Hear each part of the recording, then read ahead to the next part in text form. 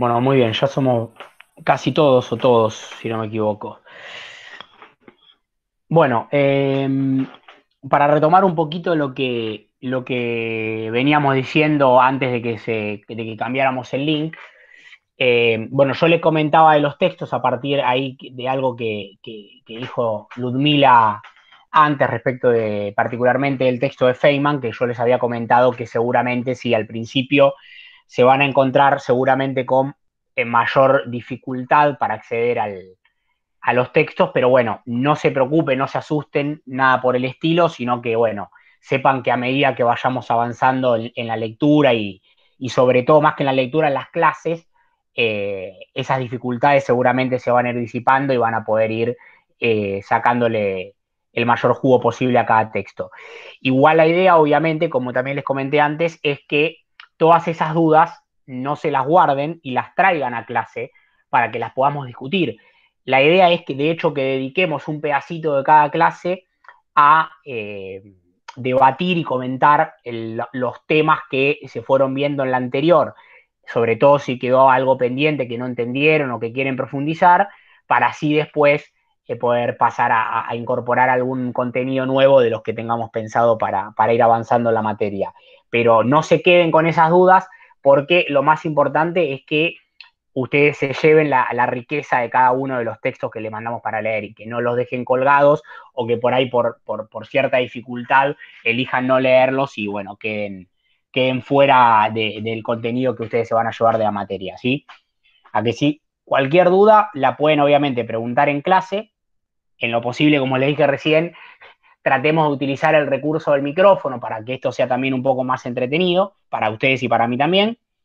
Y si no, obviamente, eh, como segunda instancia está el recurso de los mails que los tienen ahí en, el blog que seguramente les habrá pasado la clase pasada Ezequiel. Y si no, bueno, donde hablamos recién el WhatsApp, que ahí eh, última nos pueden consultar también alguna cosita que, haya quedado pendiente y que se, les ocurra en la semana. Aquí sí, bueno, eh, hecho los comentarios preliminares, la idea entonces es que arranquemos eh, recuperando un poquito, que me cuenten ustedes un poquito, el que se anime a, comentarme un poco qué es lo que estuvieron trabajando con Ezequiel la clase pasada, qué es lo que les pareció interesante para recordar y demás. De esa clase introductoria que ese les dio seguro la, el miércoles pasado. No sé quién se anima a dar el primer paso. A ver.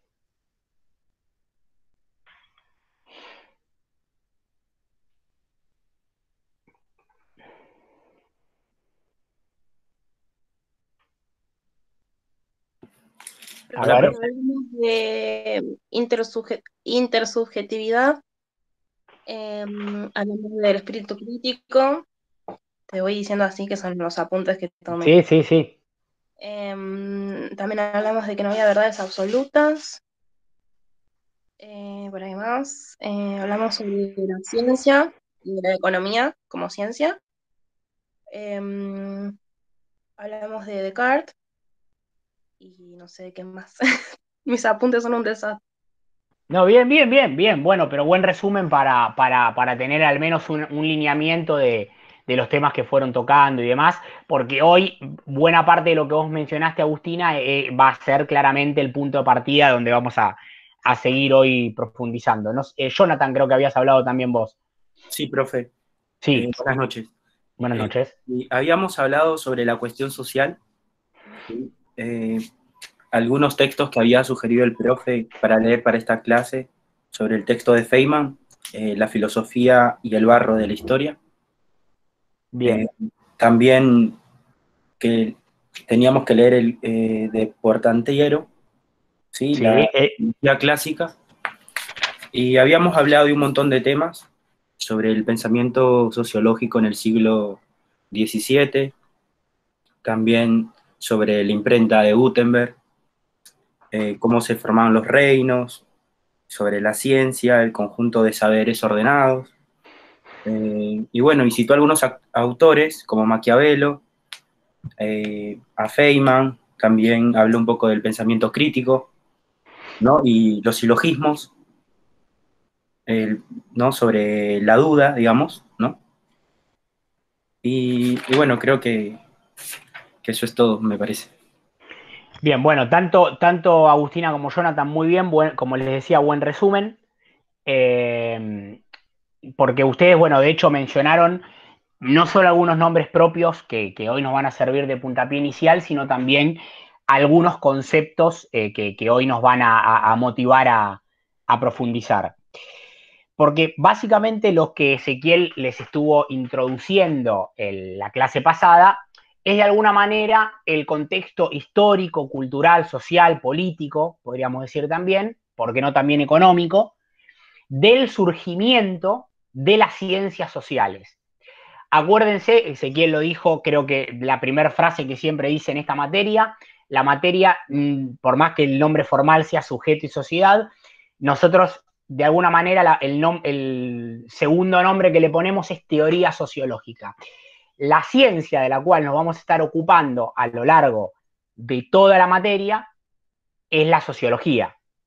Entonces, claramente, lo que vamos a empezar a ver hoy es cuál es el contexto, entonces, histórico, social, cultural y, político, en que surgen las ciencias sociales en su conjunto, ¿sí?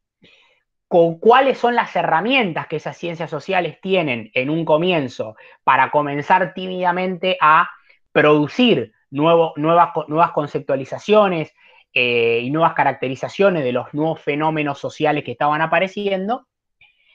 En, tercer lugar, cómo se van diferenciando de las otras ciencias eh, que estaban en boga en su momento y al mismo tiempo cómo se van diferenciando las distintas ciencias sociales entre sí. Y finalmente vamos a llegar al momento en el cual vamos a poder hablar oficialmente del surgimiento de la sociología entonces como una ciencia específica con un objeto de estudio específico, ¿sí? Y con conceptos específicos. Entonces ahí es donde ustedes van a encontrar la riqueza del texto de Portantiero que recién ahí Jonathan mencionaba, que tenían para leer para hoy, eh, que obviamente Portantiero, más allá de, prestar la atención a este contexto en que surge la, sociología como ciencia, también le importa hacer un repaso, eh, no tan profundo, pero interesante en sí, sobre cuáles son de alguna manera los llamados padres de la sociología. Padres de la sociología en, sentido de que fueron los que dieron un primer paso, los primeros pasos, para justamente la constitución de ese objeto de estudio específico que va a diferenciar, por ejemplo, a la sociología de otras ciencias sociales como eh, la ciencia política misma, el derecho, la economía y demás. ¿sí? ¿Qué es lo que... Padres fundadores, ¿no, profe? Claro, exactamente. Son, son a ver, digamos, el, padre, el nombre de padre fundadores es de alguna manera el, título rutilante que el autor utiliza como para, de alguna manera, unificar a todos estos autores que vienen de distintas épocas y de distintos bagajes intelectuales, ideológicos y demás, eh, los unifica, digamos, de acuerdo a cuál es el aporte que cada uno de estos autores hizo para construir, entonces, eh, lo que hoy entendemos como la ciencia sociológica.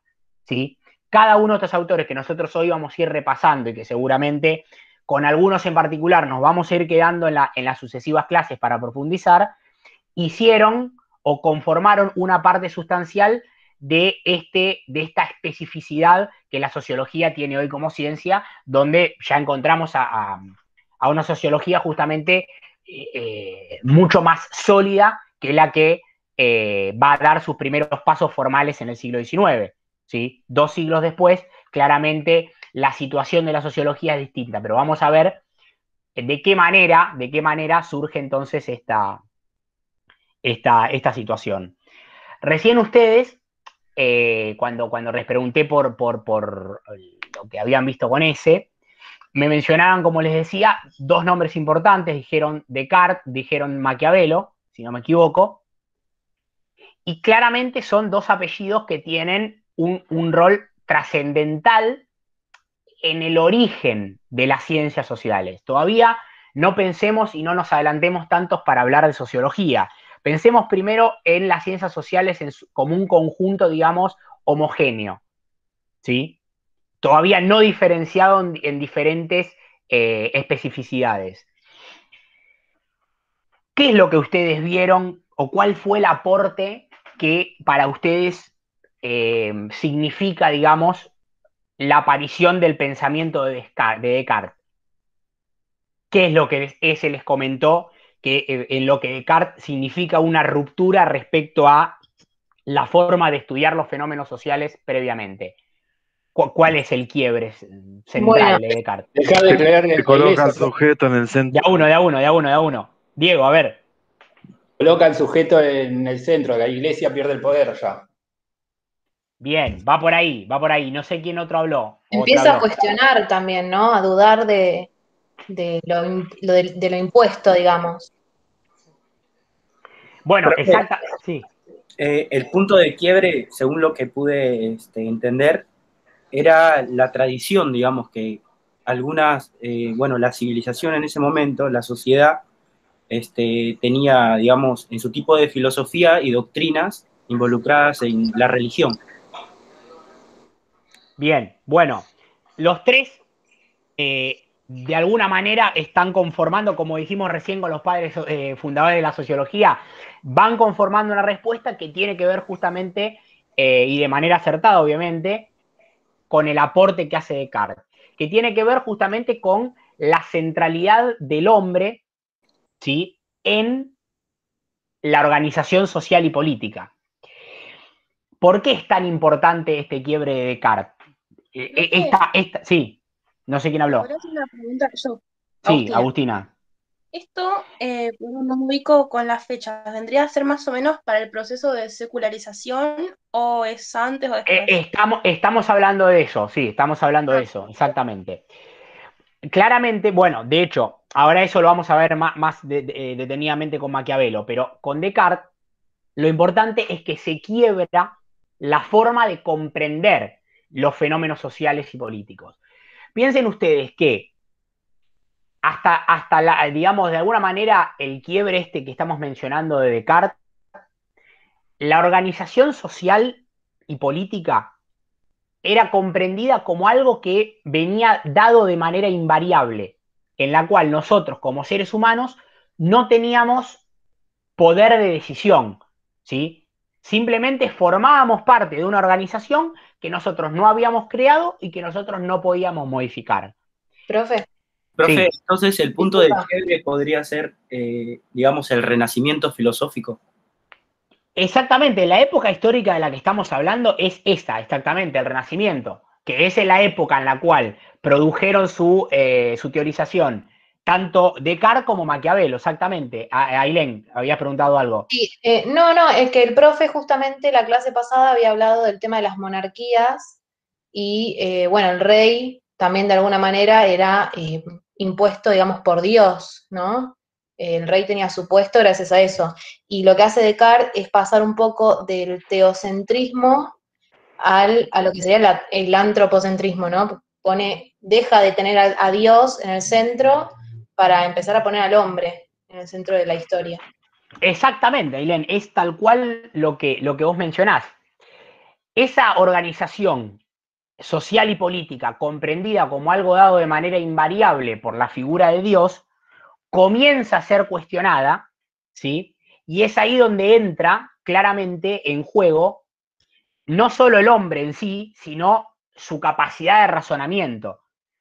El hombre y su capacidad de razonamiento entra en el centro de la escena y la organización social, en lugar de ser explicada únicamente a través de la figura de Dios, va a poder ser explicada a través de la participación de los hombres. Va a dejar de ser algo dado de manera invariable, como decíamos recién, a la cual nosotros no podíamos participar ni en su creación ni en su modificación, a pasar a ser una construcción colectiva de los propios hombres, ¿sí? una organización social y política que los hombres se dan a sí mismos. Como dijo alguien por ahí, ahora no me acuerdo quién de todos lo dijo, esto es un proceso de secularización. Es decir, le quitamos al análisis de los fenómenos sociales el componente religioso. Dejamos de explicar todos los fenómenos que suceden a través de la figura de Dios. Piensen ustedes esto. Si yo explico todos los fenómenos sociales, toda la organización social y política, a través de Dios, ustedes recién decían, creo que Ailén lo dijo, hablaba de las monarquías a través del famoso derecho divino de los reyes. Si el rey es un enviado de Cristo, por decirlo de alguna manera, un enviado de Dios, esa organización política en la cual el rey está en la cima del poder político es incuestionable, porque viene, primero que es incuestionable porque viene la figura de Dios, y en segundo término no tiene sentido analizarlo, ni desde la sociología, ni desde la ciencia política, ni de la economía, porque es algo que yo no, en lo cual no puedo intervenir como hombre. Incuestionable, ¿no? ¿Cómo? Que sería incuestionable, digo, porque viene Exactamente. Exactamente. Claro, entonces. Hay una cosa, una cosa más que, además de los reyes, que el conocimiento que se producía, que solamente estaba circunscrito, digamos, al clero y, algunas personas más, como Galileo, su conocimiento tendría que adaptarse al, al, mundo, bueno, a esa realidad divina.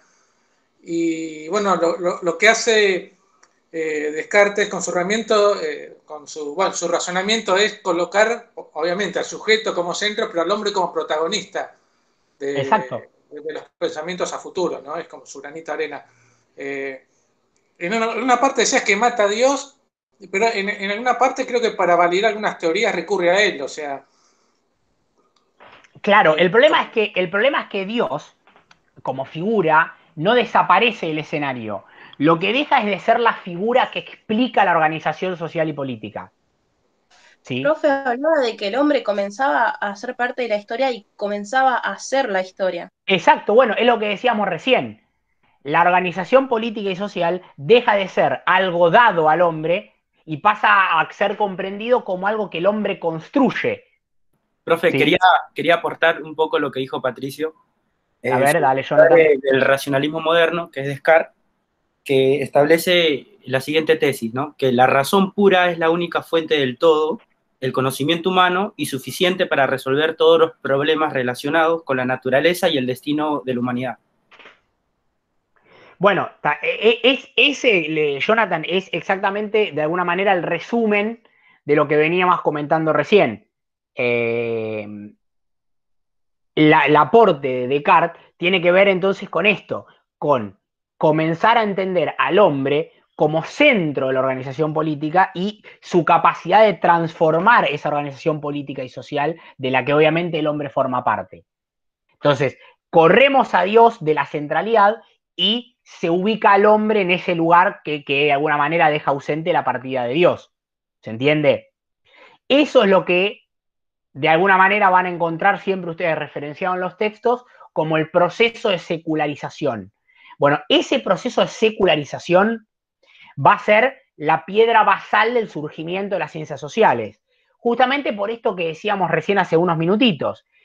Si la organización social y política es algo dado invariablemente a través de la figura de Dios y solo explicado por Dios, no tiene sentido la existencia de una ciencia social, no tiene sentido pensar las sociedades, no tiene sentido pensar la política, el poder, la economía, nada, porque todo eso viene dado, ¿sí? No tiene, no tiene sentido pensar qué es el o cuál es el papel que los hombres jugamos en esa organización. Ahora, cuando a través de la figura de Descartes nosotros entendemos que el hombre entra en la centralidad de la escena, comienza a parecer necesario o a ser necesario, pues comenzar a cuestionarse de qué manera los hombres manejamos nuestra economía e intercambiamos nuestros bienes y servicios, de qué manera ejecutamos el poder y de qué manera nos organizamos socialmente para llevar una vida en comunidad. Entonces comienzan a aparecer y a ser necesarias las ciencias sociales. Ese es el, punto basal.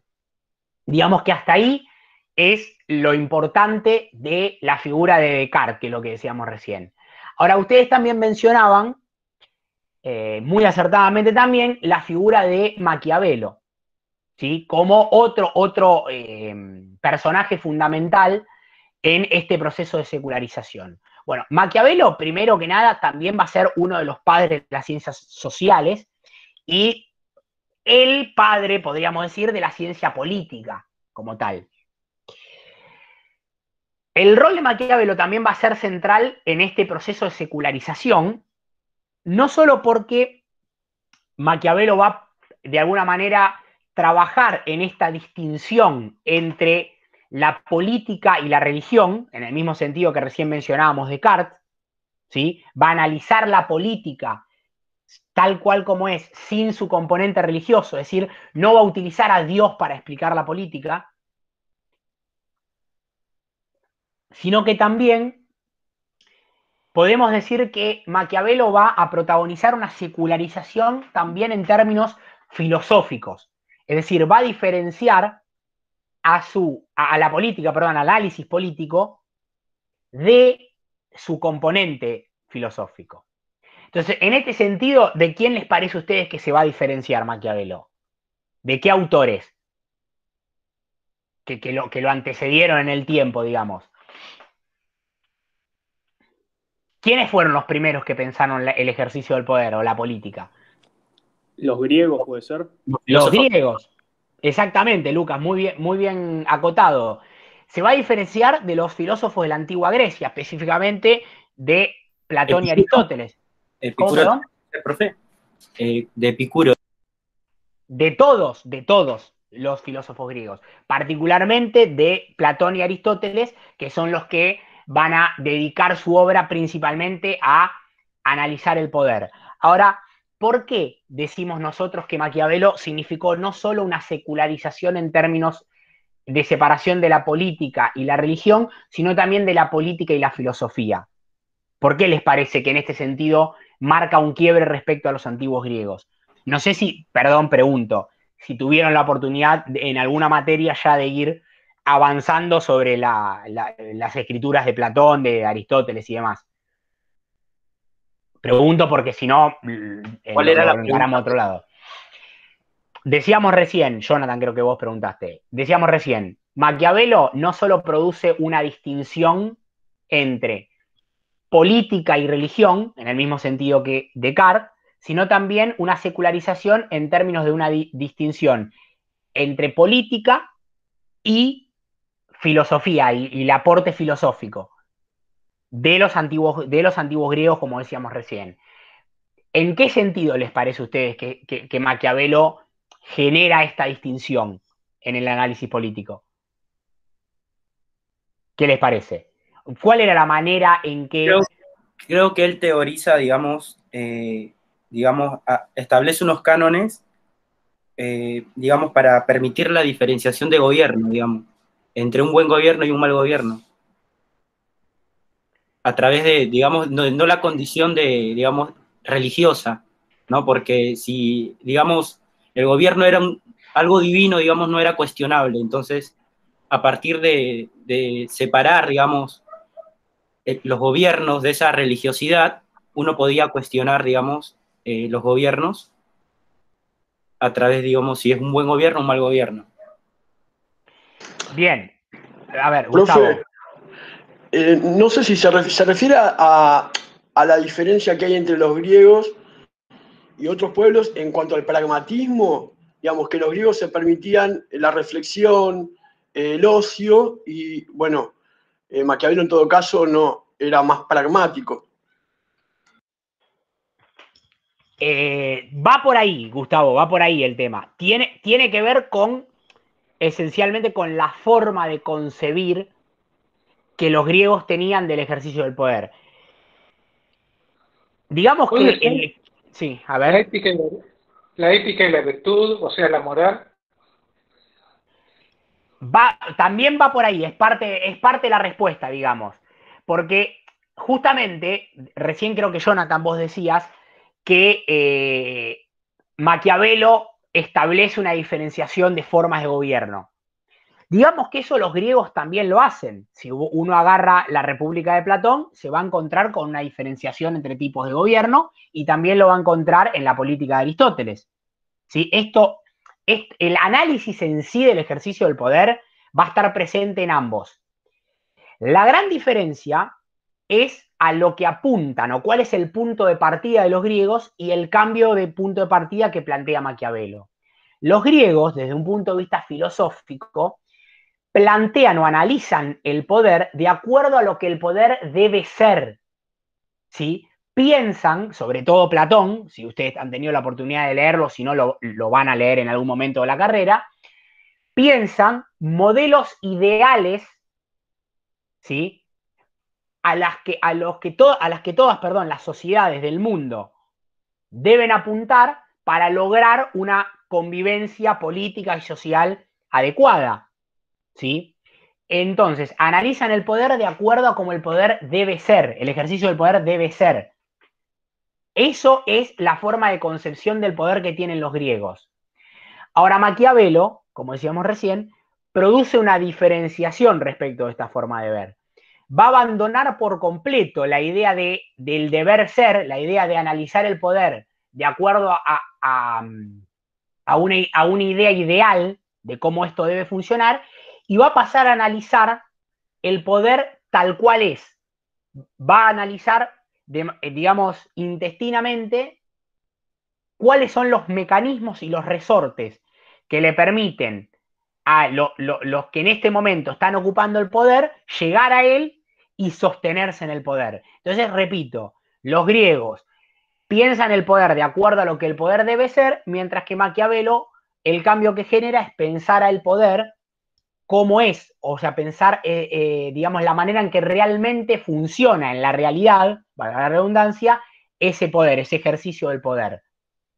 Entonces, eh, no sé quién preguntó. Jonathan, dale. No, quería decir si esto tiene, lo que usted está hablando, quería saber si tiene que ver con las relaciones sociales, digamos, sobre el contrato voluntario entre sujetos, digamos, para que una democracia, digamos, ¿no? Como que un contrato social.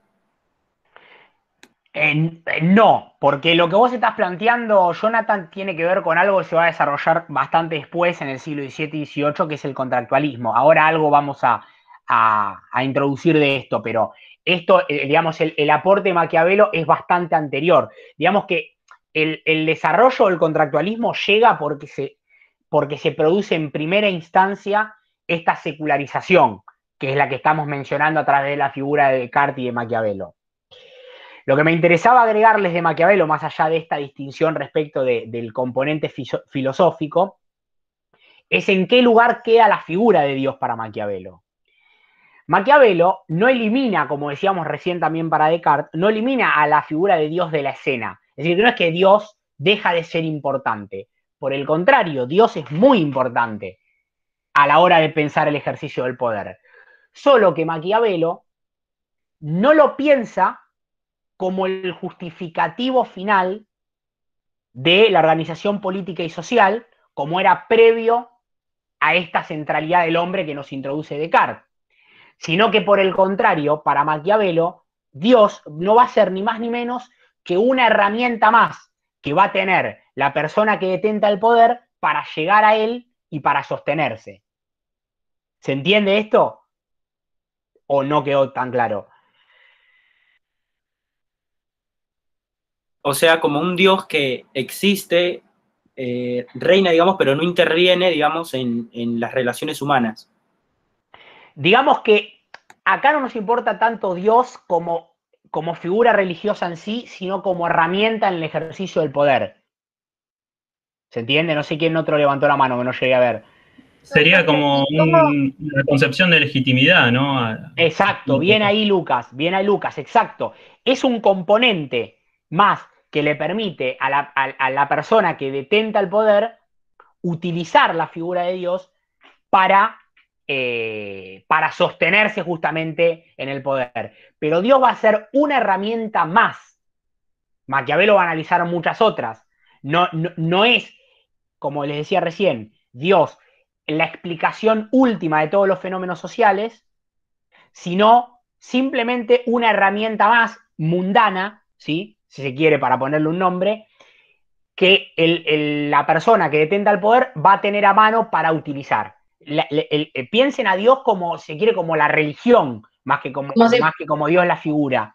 Como si fuera una forma de manipulación de alguna manera, ¿no? De alguna manera, claro. Para encontrar, digamos, el, o sea, el, el por qué ellos pueden, o sea, por ejemplo, los políticos, eh, para encontrar la manera, em, para responder a, por qué ellos tienen el poder y el resto de la sociedad no, digamos. Entonces tienen que encontrar alguna respuesta a eso, ¿no? Exacto, exacto. Exacto. Digamos que, voy a hacer un, parangón que por ahí no es el mejor, pero digamos que, y usando un comentario que hizo recién Lucas, digamos que juega el papel, o puede jugar el papel, que hoy jugaría la legitimidad popular, por ejemplo, para un presidente de, Argentina o de cualquier otro país. Es el sustento, lo puedo utilizar, digamos, como sustento del ejercicio del poder. ¿Se entiende?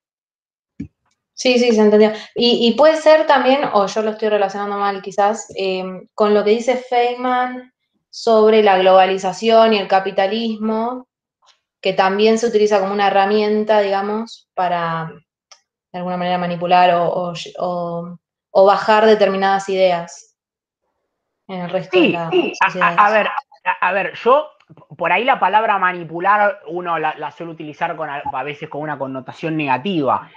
Maquiavelo no, no, le da una connotación negativa. O sea, él no habla de manipulación en términos de engaño, si se quiere, sino simplemente de una... Eh, eh, él piensa, sobre todo cuando escribe El Príncipe, él piensa en una persona que tiene que llegar y sobre todo, y lo más que más le interesa a, Maquiavelo es sostenerse en el poder.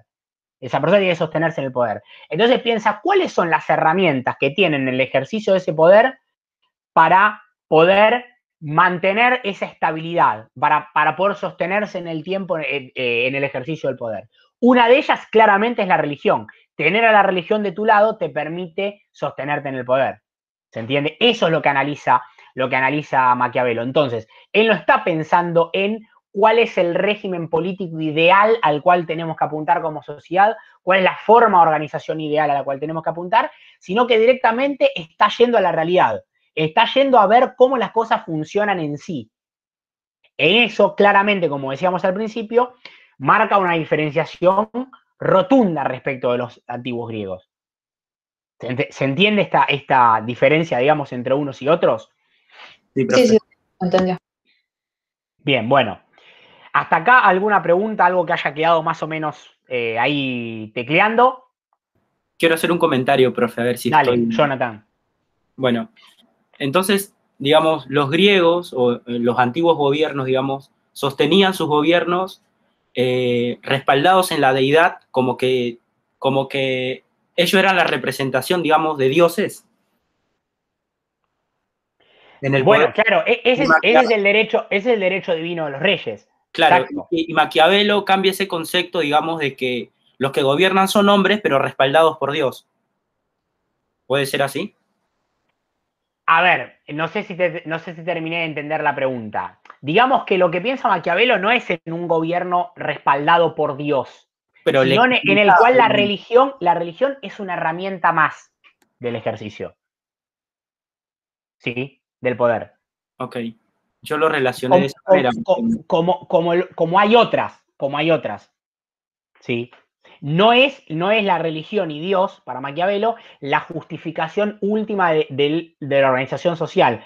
Es decir, para él, la organización social y política de su época no es algo que viene dado de manera incuestionablemente por Dios, sino que es una construcción colectiva en la cual todos los hombres participamos. ¿Se entiende? Entonces, como todos los hombres participamos de esa construcción política y social, es necesario que existan ciencias que analicen cada uno de esos aspectos, que analicen ese aspecto desde la política, desde la, sociedad en sí, desde la economía, desde la cultura y demás. Entonces se entiende por qué tanto la figura de Descartes como la figura de Maquiavelo son tan importantes para el surgimiento de las ciencias sociales Em, digamos, como, como espacios de, estudio y de análisis diferenciados del resto de las ciencias que de alguna manera se estudiaban en su época. ¿Se entiende? Principalmente Maquiavelo va a ser central para la ciencia política, porque Maquiavelo va a dedicar sus escrituras sobre todo al análisis del ejercicio del poder.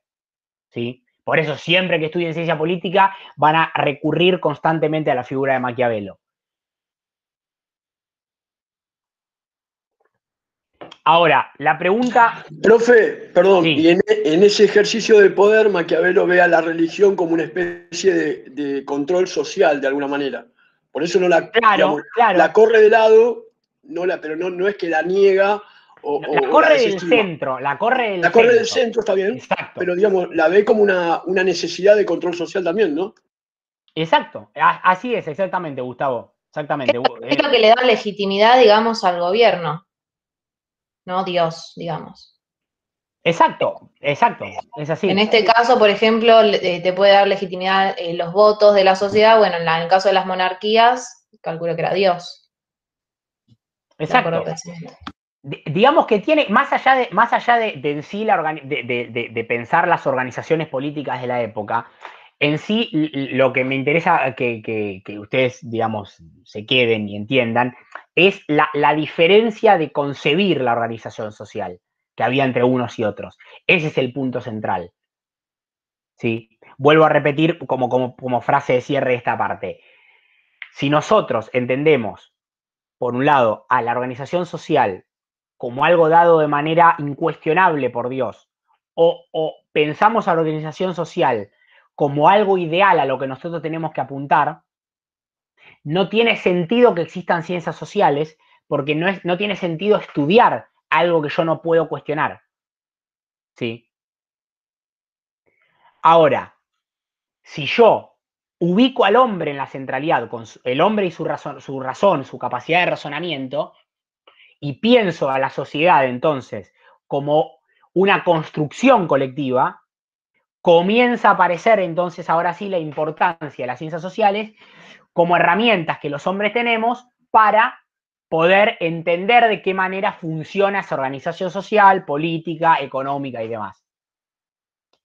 Entonces, este, este punto de partida, como comentábamos al, principio de la clase, va a ser de alguna manera también importante y central para el surgimiento de la sociología como ciencia, que es lo que habíamos dicho recién, que eh, iba a ser el punto neurálgico de la, de, la, clase del día de hoy.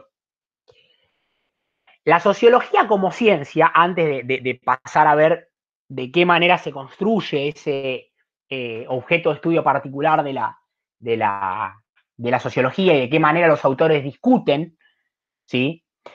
tenemos que pensar cuál era el contexto histórico y también, como dijimos recién, sobre todo político y económico, en el cual esta ciencia comienza a dar sus primeros pasos y estos autores que ahora vamos a ir repasando someramente van a hacer su aporte.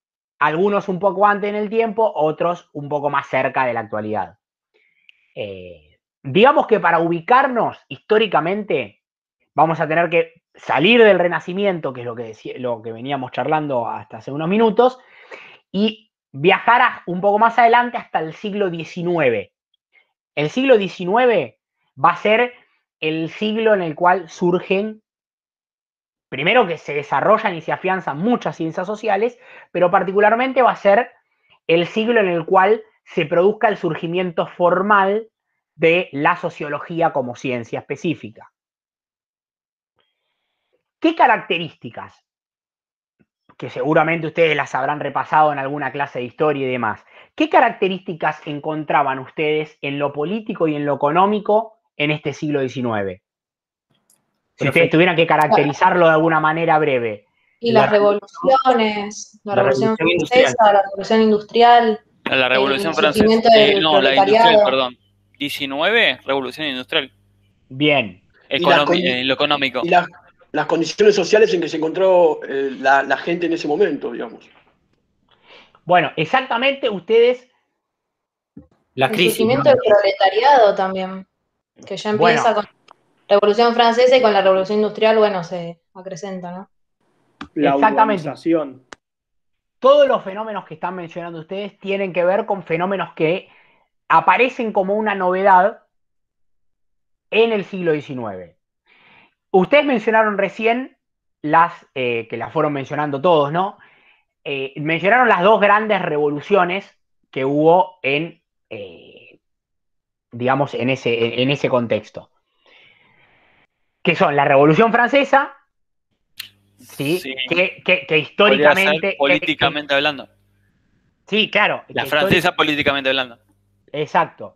Que históricamente, eh, digamos, comienza el siglo XVIII, pero sus consecuencias se alargan hasta el XIX. Digamos que de alguna manera se alargan hasta el día de hoy, pero tienen profundidad sus consecuencias en el siglo XIX. En lo político, como bien decía Pablo, y en lo económico, claramente lo central va a ser las van a ser, perdón, las consecuencias de la revolución industrial. ¿Por qué van a ser tan importantes o, qué nos dejan de, eh, de novedoso las dos revoluciones, digamos, la revolución industrial y la, y la revolución francesa? La revolución industrial nos va a dejar la forma de organización económica dominante desde aquel momento hasta el día de hoy. El que es la organización económica capitalista, exactamente. El capitalismo va a ser entonces la organización económica y lateralmente social y política también, dominante ¿sí? En el mundo occidental. Y al mismo tiempo se va a desarrollar con profundidad. ¿Cómo? El socialismo también, digo. sí, digamos que el socialismo comienza a aparecer, que ahora vamos a ver algunos autores que van en ese sentido, pero digamos comienza a desarrollarse desde lo teórico en esa época, pero claramente el modelo de organización que funciona en ese momento es el capitalismo, ¿sí? Que comienza a funcionar. Y desde lo político, desde lo político, la irrupción de la Revolución Francesa lo que va a consolidar, lo que va a comenzar, perdón, a consolidar es el modelo de la llamada democracia liberal. Pablo, digo, eh, preguntá y ahí seguimos. No, le quería decir a Jonathan, creo que decía lo del comunismo y lo de Marx cuando hace el capital justamente es una crítica al sistema de...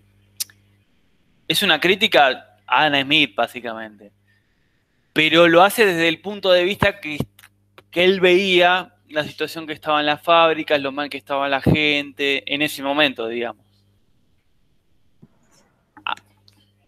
Bien, bueno, a ver, eh, de hecho, eh, no, solo pensemos en la figura de Marx, nosotros vamos a ver otros autores, Tony Simmel, que ahora los menciona por, Tantiero, eh, que también hacen aportes desde el punto de vista socialista, ¿sí? al análisis del capitalismo, que también son trascendentes y tienen que ver con una forma particular de pensar la forma en que se comienza a reorganizar la sociedad a partir de la irrupción del capitalismo como organización económica. Pero no nos adelantemos porque si no vamos a mezclar todo. Ahora vamos a llegar a eso.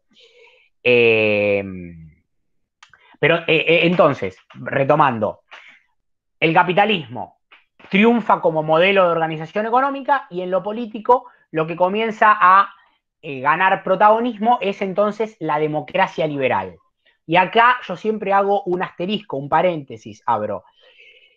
Cuando nosotros hablamos de democracia, no pensemos, por favor, en la democracia que conocemos en la actualidad, ¿sí?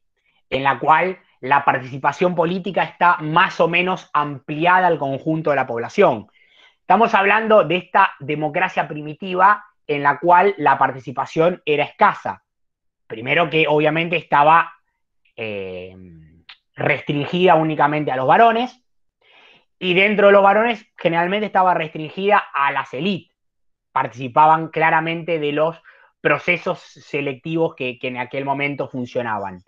Digamos que de la, de la frase democracia liberal, la, pata que más fuerza tenía era la parte liberal y no la parte de democracia. Decimos que tenía más fuerza la parte, la parte, liberal porque justamente una de las cosas centrales que va a inaugurar la Revolución Francesa va a ser la aparición de estas nuevas libertades individuales y, la defensa de estas libertades individuales que van a comenzar a, formar parte de eh, los derechos mínimos que un hombre debe tener, que tienen que ver, ustedes las habrán escuchado mil veces porque todas las constituciones del mundo las protegen. La libertad de empresa, la libertad de comerciar, la libertad de expresión, la libertad de información, eh, y todas las, las libertades de navegar, bueno, todas las, las libertades individuales que uno eh, hoy da por, por dadas, digamos, por seguras, pero que comienzan, digamos, a tomar relevancia en esa época, cuando irrumpe la Revolución Francesa. ¿Sí? Entonces, en lo político nosotros vamos a encontrar con el avance de la democracia liberal y en lo económico nos vamos a encontrar con el eh, afianzamiento del capitalismo. Eso, digamos, que comienza con la revolución industrial y con la revolución francesa, que como decíamos recién, no comienzan en el siglo XIX, sino que en el siglo XIX encuentran su época de apogeo. ¿sí? El capitalismo en el siglo XIX encuentra su, podríamos decir, su edad de oro, se afianza de forma definitiva y contundente como la organización social y económica dominante. ¿sí? Entonces, ustedes no me acuerdo ahora quién lo dijo, pero por ahí lo mencionaron, el afianzamiento del capitalismo en el campo económico y de la democracia liberal en el campo político van a significar claramente la aparición de nuevos fenómenos que hasta ese momento, al no haber aparecido como algo importante para analizar, no estaban conceptualizados por las ciencias sociales que, se venían desarrollando hasta ese momento, que obviamente eran muy rudimentarias. ¿Cuál va a ser la figura eh, o, el, concepto central que va a aparecer a partir de, la revolución industrial, que recién por ahí también lo mencionaron ustedes? ¿Cuál es? ¿Qué es lo, novedoso que va a aparecer con la revolución industrial? El proletariado, la lucha de clases. Exacto, exacto, exacto. Lo que va a aparecer, justamente, la figura que va a aparecer como novedosa en, el, digamos, con, el advenimiento y sobre todo con el afianzamiento del capitalismo, va a ser la aparición de una nueva clase social que hasta el momento no, no era pensada de manera diferenciada, que era la clase proletariada, la clase proletariada urbana, es decir, las personas que iban a trabajar en las fábricas. ¿sí? ¿Por qué no se pensaba en la existencia del proletariado? Porque no existían las fábricas antes de la revolución industrial. La fábrica comienza a existir como tal, como establecimiento en el cual se va a producir determinado bien a partir de la revolución industrial. Entonces, cuando aparece la fábrica como figura central del proceso de trabajo, para adelantarme y, tirarles una puntita de lo que después va a hacer Marx, cuando aparece la fábrica como lugar de trabajo, aparece el proletariado como esa persona que va a hacer que esa fábrica funcione y que ese bien finalmente sea producido. ¿Se entiende? Entonces, la aparición del proletariado, ¿sí? De hecho, no me acuerdo, creo que vos, Lucas, habías, no me acuerdo si fuiste vos, pero habías mencionado la migración del campo a la ciudad. También tiene que ver con otro fenómeno, diría yo, trascendental para, para, para esta época, para el siglo XIX, porque claramente para poder llenar esas fábricas que quedaban en las ciudades, va a tener que haber un proceso migratorio muy importante del campo a la ciudad.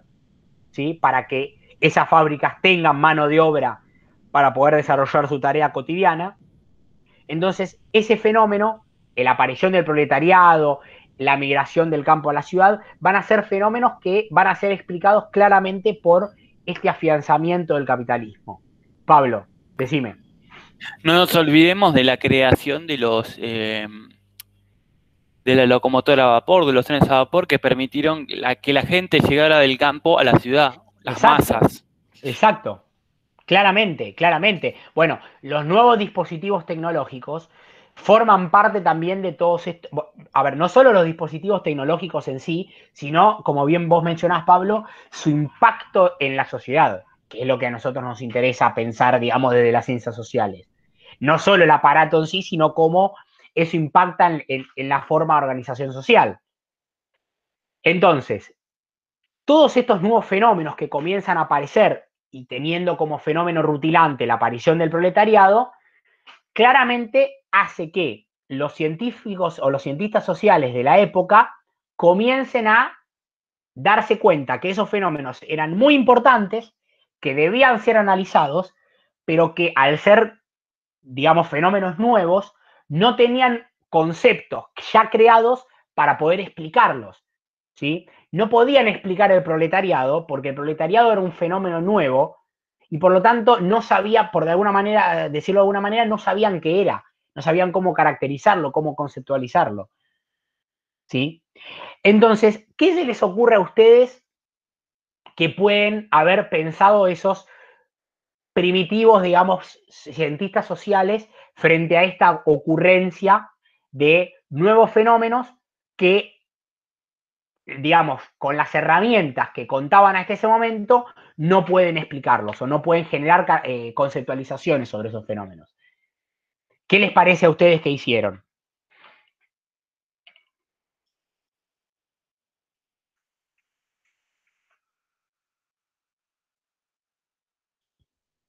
Qué silencio, che.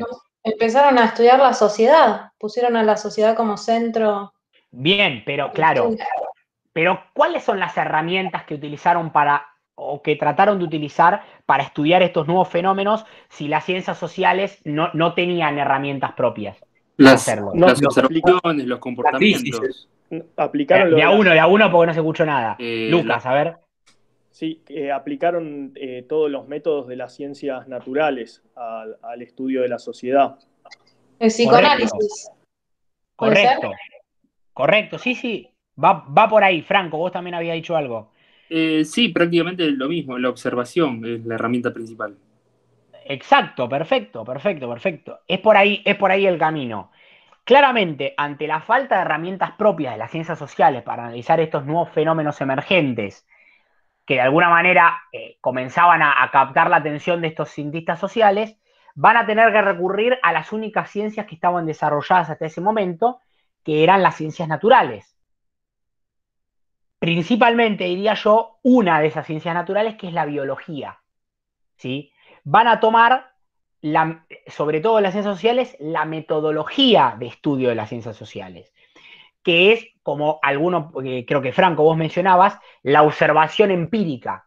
Por eso estos autores van a ser referenciados siempre como autores positivistas, porque creían que la realidad podía ser demostrada empíricamente, podía ser observable. ¿Sí? Entonces van a tratar de aplicar, repito, la metodología de las ciencias sociales, eh, naturales, perdón, que es la observación empírica, la experimentación, a las ciencias sociales, ¿sí? al análisis de estos fenómenos nuevos sociales que comienzan a aparecer. Recién nos vamos a encontrar con una metodología propia para las ciencias sociales bastante más adelante en el tiempo, sobre todo con la figura de Max Weber, que seguramente la van a, recordar o la habrán escuchado nombrar, pero por ahora los cientistas sociales van a utilizar como les decía recién, las herramientas de las ciencias naturales, principalmente de la biología, como metodología para poder analizar estos fenómenos sociales. Por eso, en muchos de estos autores que ahora vamos a comenzar a repasar brevemente, se van a encontrar a ustedes muy recurrentemente la idea o el pensamiento de la, de, la idea, digamos, de pensar a las sociedades como un organismo vivo. ¿Lo escucharon en algún momento esto? como un todo orgánico. ¿Lo escucharon o lo leyeron en algún momento esto? Sí, claro. Sí, sí, la comparación que de lo que es el, movimiento de la sociedad, el de la masa, poner un ente biológico, o sea, sí es un concepto que, que bueno, para nosotros ya es bastante conocido, pero eh, como que vos decías que surgió en ese momento, puntualmente. Exacto, digamos que eh, al, tomar el ejemplo, al tomar el ejemplo de, la biología y de las ciencias naturales en su conjunto, lo, primero que van a tener a mano estos, estos eh, digamos, por ponerle un nombre, primeros sociólogos, aunque todavía no llevan ese nombre formalmente, esos primeros sociólogos van a tener que utilizar claramente lo que tienen a mano, que, es la forma de concebir el mundo de las ciencias naturales, que es digamos, ¿qué analiza la biología? Los organismos vivos. Entonces nosotros pensamos a la sociedad como un organismo vivo. ¿Entiende? Entonces, claramente lo que van a tratar de buscar estos eh, primitivos sociólogos, como decíamos recién, son leyes físicas, físicas, esto de físico es importante porque hace alusión a la idea de las ciencias naturales, leyes físicas que puedan explicar la forma en que funciona y evolucionan las sociedades, tanto y en cuanto entendidas como organismos vivos, como decíamos recién. Ahora, si ustedes, no sé si, ya han tenido la oportunidad de, leer el texto de Portantiero, si no, les recomiendo que lo hagan, porque es importante para poder comprender todo esto que estamos, eh, que estamos hablando ahora. Portantiero menciona dos cosas respecto de, estos primeros pasos de la sociología y de estos autores. Lo que dice Portantiero de estos autores, primero, los primeros autores, los padres fundadores, podríamos decir, de la sociología, es que son autores conservadores, dice.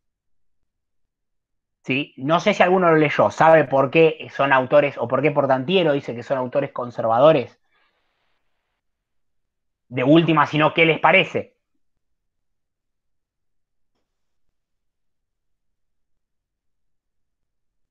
¿Por qué les parece que los, autores son conservadores respecto a esta a Ver, yo te puedo tirar un aproximado. La verdad no tengo, no, la verdad sinceramente no, hice tiempo a, agarrar el apunte. Pero bueno, no, me, conservadores en el sentido de que vienen de la, de la ciencia dura, del núcleo de la ciencia eh, así no te voy a decir de las ciencias exactas porque no, pero casi, digamos, porque el concepto de la ciencia social, como vos decís, no, no había surgido, estaba surgiendo justamente ahí. Lo, yo lo pienso de ese, punto de vista. No sé si está bien, mal, decime vos. Eh, Pablo, yo te diría que más que lo que importa acá, más que de dónde vienen los autores, es a dónde van o qué es lo que quieren hacer frente a la realidad de su época, frente a la realidad que, como vimos recién, frente a estos nuevos fenómenos que como vimos recién, perdón, les toca analizar, les toca estudiar. Estos autores son conservadores. Sí, Ailén, dale. ver con eh, lo que dice del modelo organicista. Hay una parte que habla de eso. Bueno, el modelo organicista, lo que decíamos recién, del aporte de la biología, de pensar a una sociedad como un todo orgánico superior al conjunto de sus partes que conforman un organismo que funciona como el cuerpo humano, por ejemplo, como cualquier organismo vivo. Claro, acá lo que dice ese, es, el modelo organizado. Es que desnuda su carácter conservador, pero no sé si es eso puntualmente a lo que te referís. Claro, digamos, pero ¿por qué, por qué dice Portantiero que, que, el modelo organicista desnuda el, el tema del conservadurismo de estos autores? porque tiene que ver con la manera o con el posicionamiento, perdón, mejor dicho, que estos autores toman respecto a la aparición de estos nuevos fenómenos. Estos autores no son autores revolucionarios, revolucionarios en el sentido de que no tratan de comprender la realidad para transformarla, sino que piensan la manera, la manera en que funciona esa realidad para restablecer el orden perdido. Piensen ustedes que para esos autores que se encuentran en el periodo de transición, podríamos decir, entre el final del periodo feudal y el advenimiento de la nueva sociedad industrial moderna, la aparición del capitalismo genera un quiebre, rompe el orden social. El, orden feudal era un orden ya preestablecido y al aparecer el capitalismo, ese orden preestablecido y ya constituido, se quiebra, se construye un nuevo orden social. Que estos autores, estos autores, están tratando de comprender, pero no comprender y ver qué funciona mal para cambiarlo, sino que lo que quieren es restablecer el orden. Por eso son conservadores. No sé quién habló, escuché un ruidito que alguien levantó la mano. No, no, mira, yo justo que pregunté, que quería, Preguntar, quería, preguntar, eso de a fin de restablecer que, no lo había entendido. Claro, eh, a, eso se refieren. Lo que añoran estos, em, e, estos autores es el, orden es el orden social del medioevo. Cuando digo que añoran el orden social del medioevo, no significa necesariamente, ahora vamos a ver con qué autores sí, con qué autores no, no significa necesariamente que quieran regresar al antiguo régimen, sino que quieren de alguna manera construir la solidez de, ese de esa organización social. ¿Se entiende? Entonces son autores, como, como les decía, conservadores, que quieren conservar o mantener un orden, no son autores revolucionarios que buscan comprender la realidad para transformarla. Gustavo. ¿Preguntaste? No, no, profe, no, no pregunté. Perdón, perdón, entonces vi, mal. No sé si había preguntado otro. Ah, Lucas, porque los tengo uno al lado del otro. Claro, eh, creo que en el texto de Feynman en un momento explica de por qué Descartes, eh, digamos, tiene una cierta limitación eh, teológica.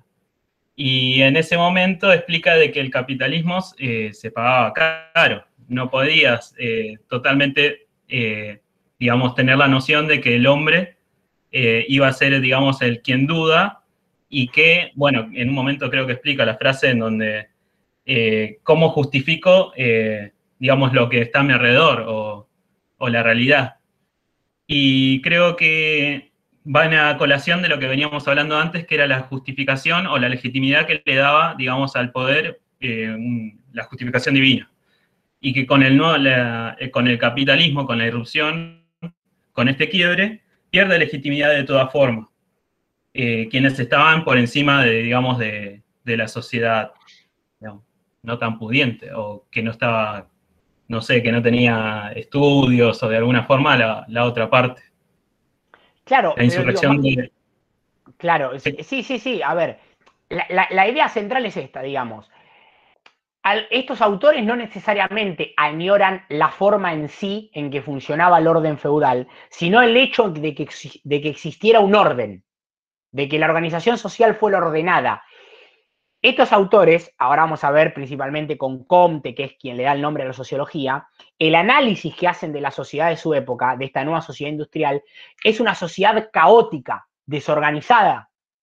¿sí? Entonces lo que quieren hacer estos autores es lograr que ese progreso social, esa evolución de la sociedad, se conduzca dentro de un determinado orden.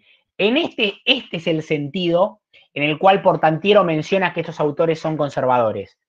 No me acuerdo por ahí quién, quién hablaba, creo que Ailén, del modelo organicista. ¿Puede ser? Fuiste vos, me parece. Sí, sí, fui yo. Bueno, bueno. ¿Qué tiene que ver el modelo organicista en esto del conservadurismo entonces? Tiene que ver justamente con eso, con el hecho que si nosotros entendemos a la sociedad como un cuerpo vivo, cualquier conflicto o desorganización que pueda haber al interior de la enfermedad es algo que claramente debe ser prevenido y curado, por decirlo de alguna manera, como si fuera una enfermedad.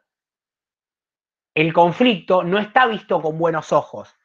Recién por ahí mencionaban ustedes un concepto que va a aparecer con más fuerza más adelante con la figura de Marx, que es el, concepto de lucha de clases. la lucha de clases en sí es un conflicto que se da al interior de la sociedad industrial moderna. Entonces, ese conflicto que hay entre las clases, que va, como decíamos recién, le va a poner nombre propio Marx recién, ese conflicto, desde el punto de vista del modelo organicista, va a ser comprendido como algo negativo, como si fuera una enfermedad que ataca la unidad, la organicidad de, ese cuerpo vivo que es la sociedad.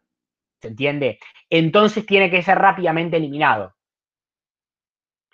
Ahora, eliminar, a ver, volviendo a Marx, Marx no va a decir que la lucha de clases, más allá de un conflicto, es el motor de la transformación social. Entonces, si nosotros frente a ese motor de la transformación social, que es el conflicto, nos paramos en la posición en la cual no queremos que eso ocurra, somos conservadores. Entonces, es en ese sentido que estos autores son conservadores.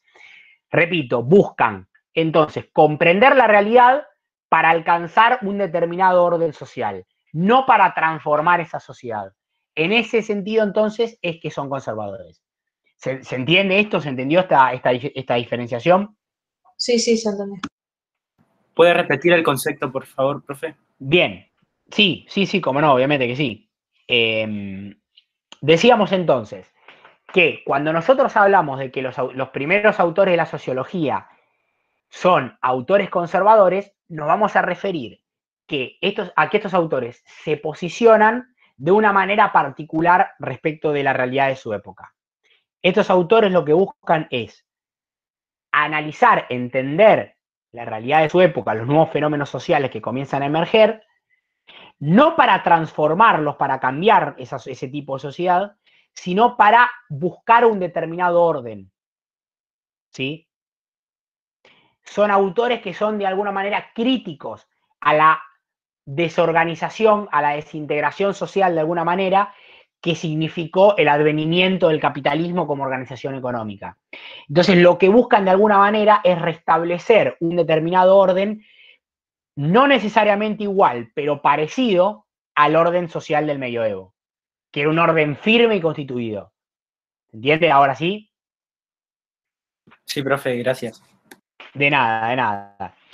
Eh, entonces, ahí es que comienzan, digamos, en ese contexto es en que comienzan a florecer todos estos autores que eh, de alguna manera eh, Portantiero va repasando, quedándose únicamente con cuáles fueron los aportes centrales que cada uno de estos nombres y apellidos hicieron para eh, la, la, construcción de un objeto de estudio específico para la sociología.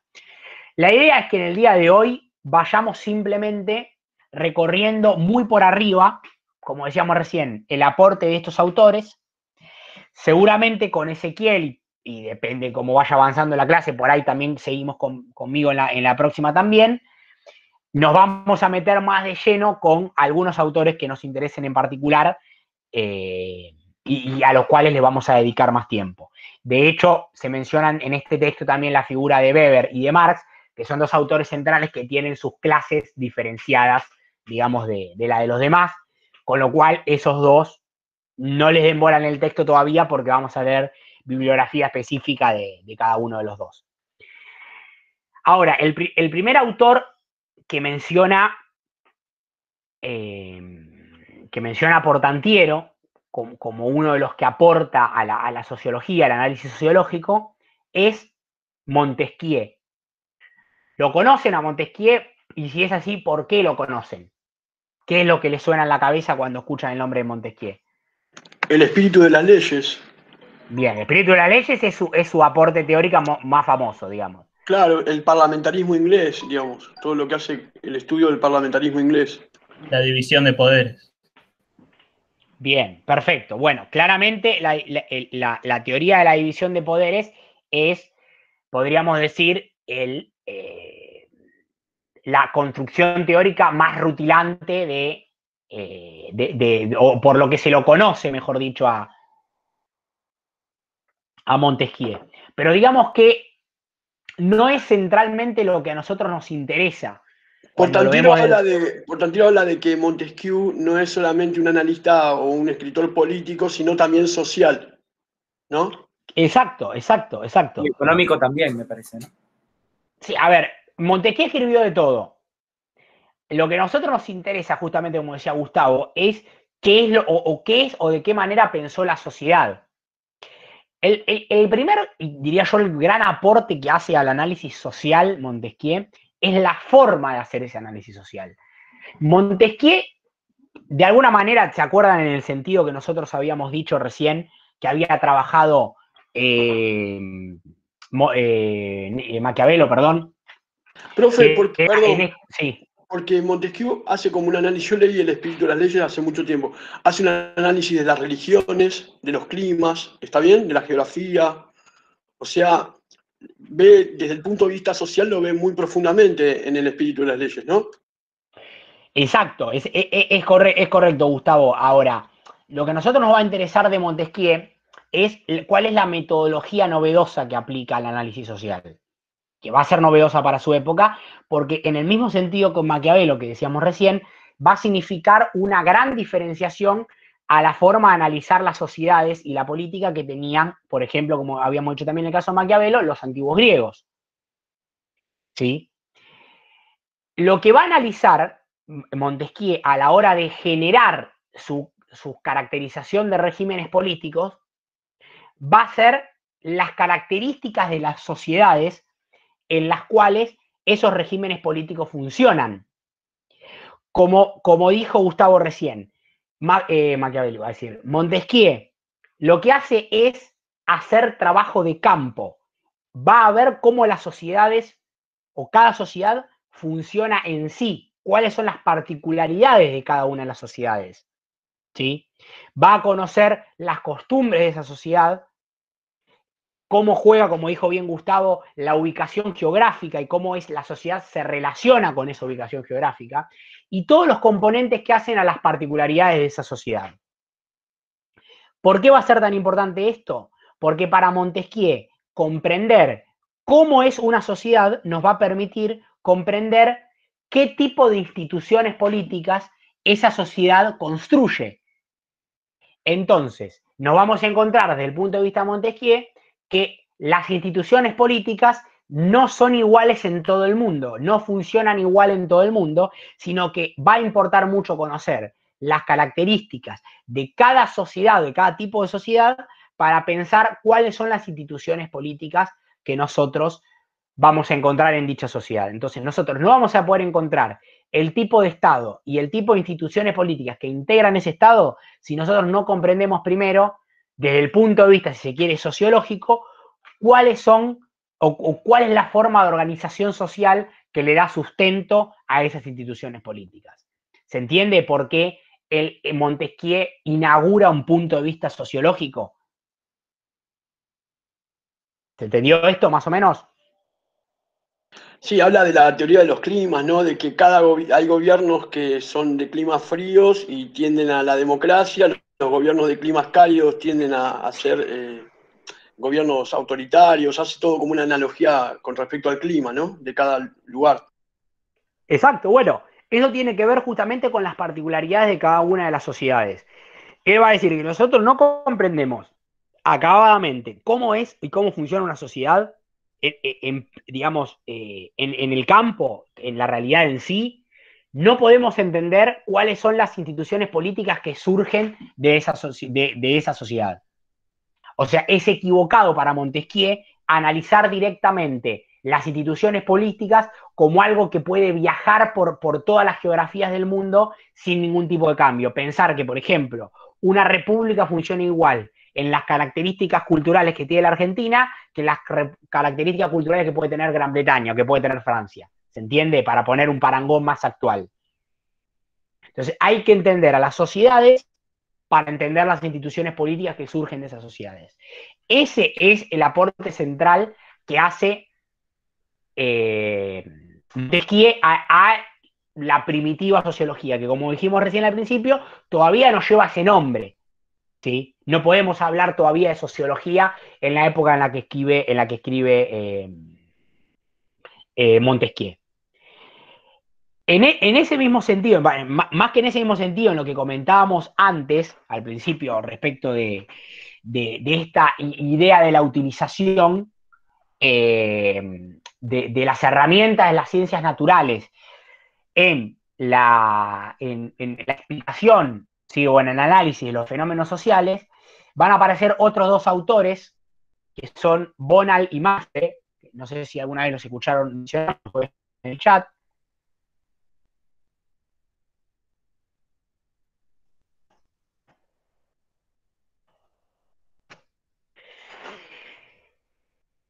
Que son dos autores que, digamos, su bagaje ideológico, podríamos decir, es ser fuertemente opositores de eh, la Revolución Francesa. ¿sí? Ambos autores van a ser críticos, digamos, de los cambios políticos que la Revolución Francesa significó eh, para la sociedad de su época. ¿sí? Claramente para estos autores, que eran profundamente conservadores, la Revolución Francesa va a significar el advenimiento de un verdadero caos. ¿sí? Va a romper por completo la tranquilidad y el orden social sólido de, la organización feudal. Entonces, claramente van a tener una, una posición, como habíamos dicho antes, ultra conservadora respecto al cambio social. Para estos autores, claramente, van a ser los que van a expresar con mayor claridad esta idea de la sociedad entendida como un todo orgánico superior, integrado, que se diferencia de el conjunto de, elementos que la componen. Es decir, que para estos autores, Bonal y Mastre, la sociedad no, no, es un conjunto de individuos que interactúan solamente, sino que es un todo superior a esa interacción de los individuos. ¿Sí? Es algo que de alguna manera tiene entidad propia. Estos autores lo que van a, lo que van a sostener es que la sociedad, como, como ese cuerpo orgánico, como ese organismo vivo, integrado, se va a mantener unido y cohesionado y estable a través de, de, unos lazos que se llaman valores, ¿sí? De valores sociales, que son los valores que se rompen, según ellos, con el advenimiento de la sociedad, de la Revolución Francesa. Estos valores, como decíamos recién para estos autores, son los que van a mantener unidos y cohesionados, homogéneos, e, e, esa sociedad entendida como un cuerpo homogéneo. ¿Sí? Y al mismo tiempo, esos valores, ¿sí? Son los que le dan sustento, ¿sí? Le sirven de alguna manera de reglas de juego, por decirlo algún, para poner algún nombre, de reglas de juego a los individuos para actuar. ¿Se entiende? No sé quién preguntó, quién levantó la mano ahí. Ahí Len, creo. Yo, profe. Bueno, a ver, Jonathan. Eh, quería preguntar, porque me perdí, con Bonali Maestre. Eh, ¿Eso eran opositores? Eh, no entendí ahí, ¿opositores al socialismo? A la Revolución Francesa. Ah, ok. Ok, profe. Ailén. No, profe, yo no levante la mano, ¿eh? Ah, me, apareció, me apareció que habías levantado la mano. Perdón. Bueno, entonces, eh, eh, decíamos, estos autores entienden entonces que todo e, ese conjunto orgánico que es la sociedad está unido por estos lazos de valores, ¿sí? Que son lo que decíamos recién, mantiene cohesionado eh, a la sociedad, mantiene cohesionada a la sociedad y al mismo tiempo le sirve de reglas de juego para interactuar a los individuos que la componen. Ahora, estos autores entienden que si nosotros rompemos esos valores, como esos valores son los que mantienen unificada a la sociedad, la sociedad se desintegra por completo. Entonces, cuando aparece la Revolución Francesa, estos valores se ven afectados, se ven rotos, ¿sí? se ven cambiados, transformados de manera contundente. Por eso, para estos autores, la llegada a la Revolución Francesa, y si se quiere secundariamente la Revolución Industrial, significa claramente una ruptura que desintegra la sociedad, que desintegra esa sociedad entendida como un organismo cohesionado y homogéneo. ¿Se entiende? Entonces, ese orden debe ser restablecido. Por eso yo les mencionaba recién cuando comenzaba a hablar de Bonal y Mastre, le mencionaba que estos autores son el paradigma del conservadurismo. ¿Se, entiende cuál, es la diferencia de puntos de vista? ¿Sí o no? Hola. Sí, profe. Sí, bueno. Quería preguntar otra cosa, profe, para... A ver, Jonathan. Sobre los autores, profe. Eh, quería preguntar sobre los autores conservadores a los que usted hacía referencia. Eh, no era, este, digamos, a Portantiero, sino a los que habían, digamos, a los conservadores, digamos, de los padres fundadores de la sociología, ¿no? Montesquieu, Hobbes, Locke, ¿a ellos se, se refería? Claro, a ver, lo que son conservadores no es el autor del texto que ustedes tienen para leer sino los autores que este, que este autor, para la redundancia, menciona en ese texto, que son estos padres fundadores de la sociología. Todos tienen una posición de alguna manera conservadora frente a, la realidad de su época. Bonal y Maestre lo que pasa es que son eh, antiluministas, digamos, anticentralidad de, del hombre, digamos, en la escena de la, de la organización social. E, e, ese es el, punto neurálgico con el que se tienen que quedar con estos autores. Ahora, otro autor que va a aparecer también con fuerza ahí en, el texto de Portantiero eh, es la figura de San Simón. ¿A San Simón alguno lo escuchó mencionar en algún momento? Solo en el texto, profe. Bien.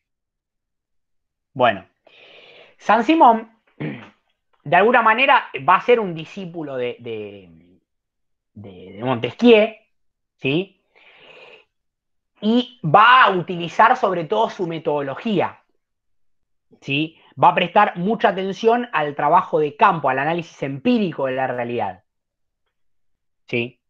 Y digamos que eh, Montesquieu iba a decir, San Simón se va a parar en una suerte de transición intelectual entre el conservadurismo y la aceptación, de alguna manera, y el pensamiento sobre la sociedad industrial moderna que le toca vivir. ¿Por qué decimos esto? Porque por un lado, al igual que todos estos autores que venimos referenciando, San Simón va a tener la idea de recuperar y de restablecer cierto orden social, ¿sí? No le va a gustar la anarquía, ni el caos, digamos, pero al mismo tiempo también va a teorizar muy fuertemente sobre las ventajas, podríamos decirle de alguna manera, de la nueva sociedad industrial moderna, sobre todo la tecnología, que por ahí ustedes también fueron mencionando como uno de los fenómenos sociales nuevos que comienzan a aparecer con fuerza en el siglo XIX. Entonces, por un lado es conservador, pero por otro lado entiende e incorpora su teorización las novedades positivas que trae consigo la, nueva sociedad eh, industrial y tecnologizada. Entonces, ¿cuál es el aporte o, de qué manera piensa San Simón las sociedades? ¿Sí? ¿Por qué, ¿Por qué, decimos que es importante su aporte y por qué está en este texto entonces? Eh, referenciado como uno de los padres fundadores de la sociología. Esto es así porque San Simón va a pensar, eh, si se quiere, la organización política y la, organización económica del capitalismo desde el punto de vista de la forma en que esta organización se conduce, podríamos decir. Cómo nosotros, eh, o cómo o quién, mejor dicho, gobierno lidera esta organización social y de qué manera lo hace. Para eso va a recurrir, como decíamos recién, de alguna manera al ejemplo de Montesquieu y va a pensar cómo se compone socialmente la estructura social en la cual a él le toca vivir. Y de alguna manera hace un análisis que podemos decir que de alguna manera le, le pudo haber dado un puntapié inicial a lo que después va a ser la teorización de Marx, pero San Simón comete un error que Marx no comete más adelante, que claramente, podríamos decir, de alguna manera, perjudica el análisis que San Simón hace. Y tiene que ver con la idea de que San Simón lo que hace principalmente analizar la sociedad es darse cuenta que la sociedad no es homogénea, como recién mencionábamos con Monal y con Maestre, sino que existen clases en la sociedad. Existen grupos sociales diferenciados que la componen. ¿Sí? El problema, el problema es que San Simón, cuando habla específicamente de la organización eh, política y económica de esta sociedad que le toca vivir, él habla, por un lado, vamos a quedarnos, de una suerte de élite científica ¿sí?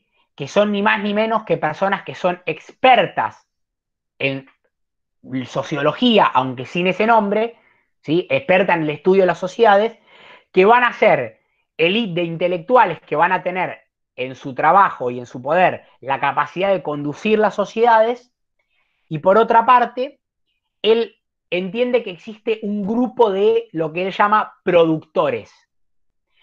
Dentro de ese grupo de productores están los asalariados y los burgueses, los empresarios, los dueños del capital.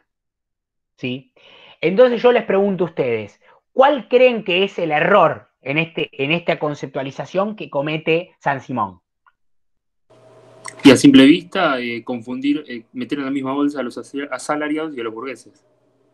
Exacto, Franco, correctísimo lo que, lo que acabas de decir, de mencionar. El error de San Simón en esta conceptualización va a ser que no diferencia adecuadamente dentro de esa categoría de productores a la figura de asalariado y burgués. Los entiende como dos personajes que tienen los mismos intereses, cuando en la realidad de las fábricas lo que ocurre es lo contrario. El burgués y el asalariado no solo tienen distintos intereses, sino que sus intereses son contrapuestos. Y, esos, y esa distinción de intereses es lo que después va a ver Marx de manera tajante y contundente con su conceptualización de la lucha de clases. ¿Se entiende? Entonces, San Simón equivoca al no diferenciar estos dos grupos. Eh, no sé quién levantó la mano. Sí, yo, profe. Eh, ¿Cuál es la consecuencia de este error que tuvo? Consecuencia teórica, simplemente. simplemente. No poder comprender, no poder comprender eh, cuál es la, contraposición de intereses entre asalariado y eh, entre mm, proletariado, perdón, y capitalista, le va a impedir a San Simón ver que existe un conflicto entre ambos.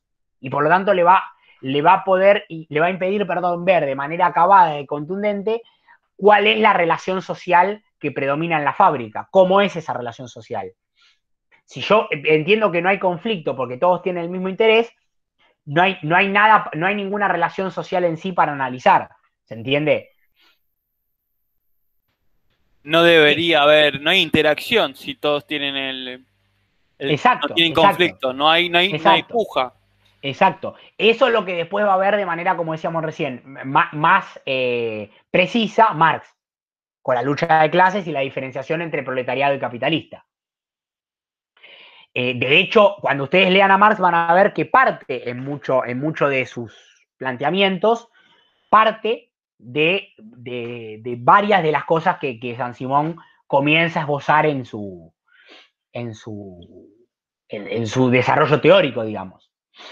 Bueno, y finalmente quería llegar, después van algunos autores que seguramente no los vamos a mencionar hoy, así ya vamos, vamos, vamos dejando por hoy y les dejo algunos autores a Ezequiel.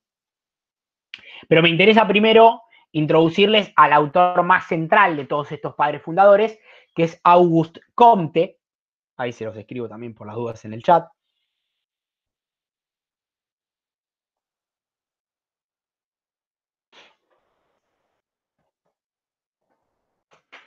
Que va a ser eh, muy importante porque va a ser el autor que le va a poner el nombre y apellido a la sociología. ¿sí? Es el que va a, desarrollar el concepto de sociología en sí. ¿sí?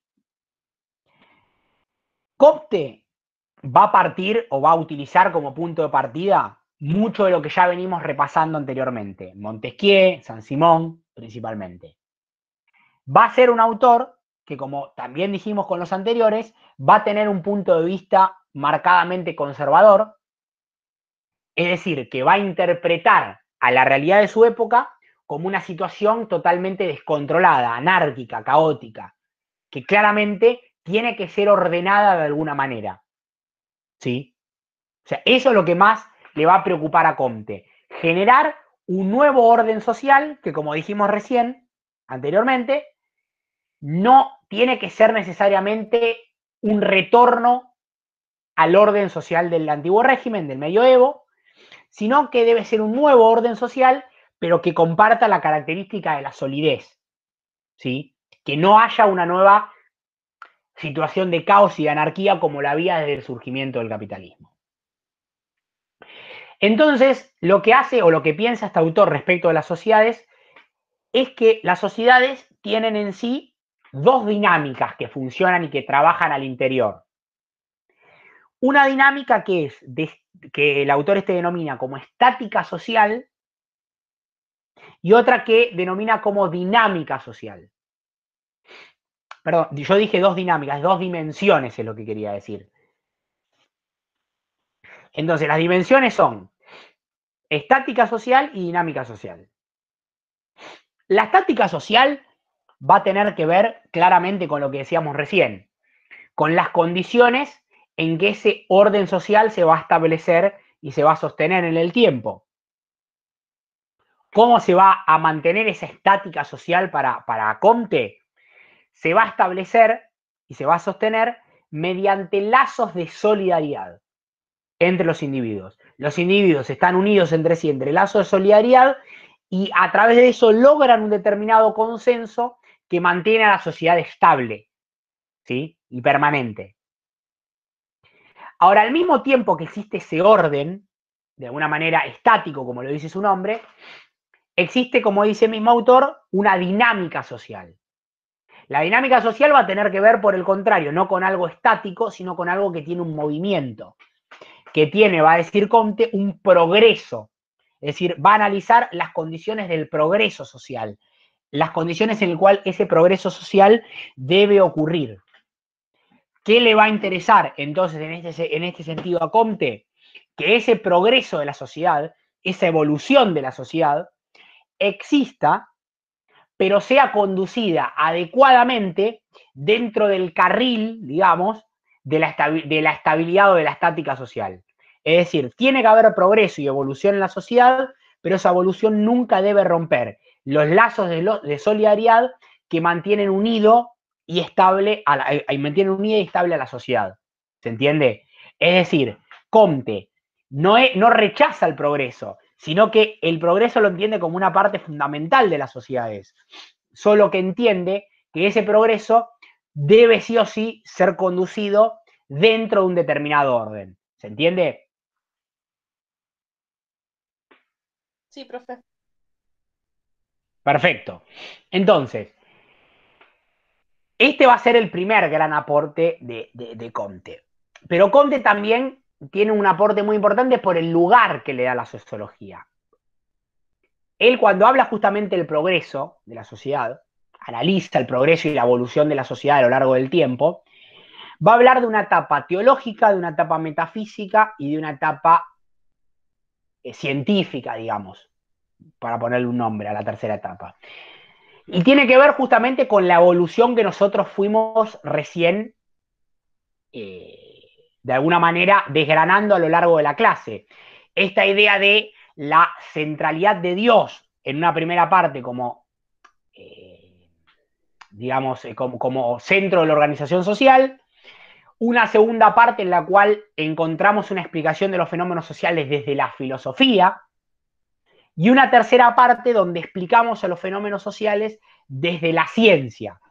Bueno, la, llegada a esta última parte, a la, etapa científica, va a decir Comte, va a significar el triunfo total de la inteligencia humana, digamos que sería el punto máximo a la cual la inteligencia humana puede llegar en cuanto a su utilización para la organización social. ¿Correcto? En este sentido, van a ser entonces, los, eh, van a ser entonces los sociólogos, ¿sí? que son los expertos ¿sí? en el análisis de la sociedad, los que van a tener a su cargo la conducción de la sociedad.